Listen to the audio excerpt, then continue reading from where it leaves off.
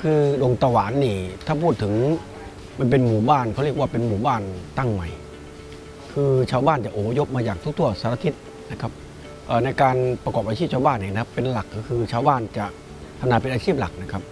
แต่ว่าอีกส่วนหนึ่งก็คือทำสวนยางพารา แล้วก็ทำเอ่อเกี่ยวกับมันสำปะหลัง โดยวิถีชีวิตในชาวบ้าน แถวนี้นี่จะดำรงชีวิตแบบเศรษฐกิจพอเพียง คือทำไร่นาสวนผสมเป็นหลักนะครับอย่างหนึ่งโดยเฉพาะสินค้าอะไรต่างๆเนี่ยเขาจะ พัฒนาแปรรูปจากสิ่งที่เขามีอยู่แล้วในหมู่บ้าน อย่างเช่นมะม่วงมะม่วงกวนอย่างเงี้ยนะครับเขาก็จะมีมะม่วงเอ่มะม่วงซึ่งปลูกตามที่ที่นาทำที่ทำเศรษฐกิจพอเพียงนะครับเขาจะมาแปรรูปเป็นมะม่วงกวนมะม่วงแช่อิ่มอะไรต่างที่เป็นสินค้าส่งออกที่ขายดีในหมู่บ้านนะครับอีกอย่างหนึ่งก็ประเภทพวกหน่อไม้ที่เป็นพืชผักที่ขึ้นตามธรรมชาตินะครับมาแปรรูปต่างๆส่งออกขายก็ถือเป็นสินค้าที่ทำรายได้ให้ชาวบ้านแถวนี้นะครับ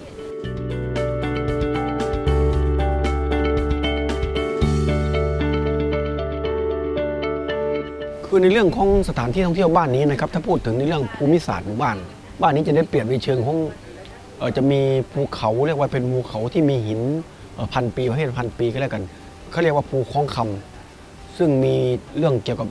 เสาเฉลียงนี่ถึงร้อยเก้าเสาเฉลียง ยอดเขาที่รวมทั้งหมดนี่ภูคลองคำนี่มี 12 ยอด ทีนี้เส้นทางภูเขาตรงนี้นะครับไม่มีบ้านเรือนคนมาอาศัยอยู่ จะเป็นเส้นทางที่เขาเรียกว่าเส้นทางธรรม ซึ่งพระเกจิอาจารย์สายกองทัพธรรมนะครับอย่างหลวงปู่มั่นหลวงปู่ชา สายวัดวัดป่านะครับ ท่านจะมาปรากฏ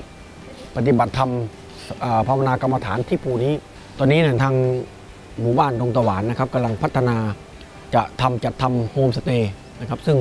เอ่อเราก็ยังอยู่ในขั้นตอนที่กำลังเตรียมการอยู่นะครับ ซึ่งยิงตรงนี้เนี่ยนะครับจะเป็น แหล่งท่องเที่ยวที่มีความสวยงามมากนะครับมาทางเส้นทางธรรมะท่องเที่ยวทางธรรมชาติ ซึ่งบ้านนี้นี่มีอยู่พร้อม ก็อยากจะเรียนเชิญชวนทางด้านคนไทยนะครับมาเที่ยวที่หมู่บ้านดงตะวันให้เยอะๆนะครับเพราะว่าบ้านนี้นี่ถ้ามาในไม่ผิดหวังแน่นอนครับ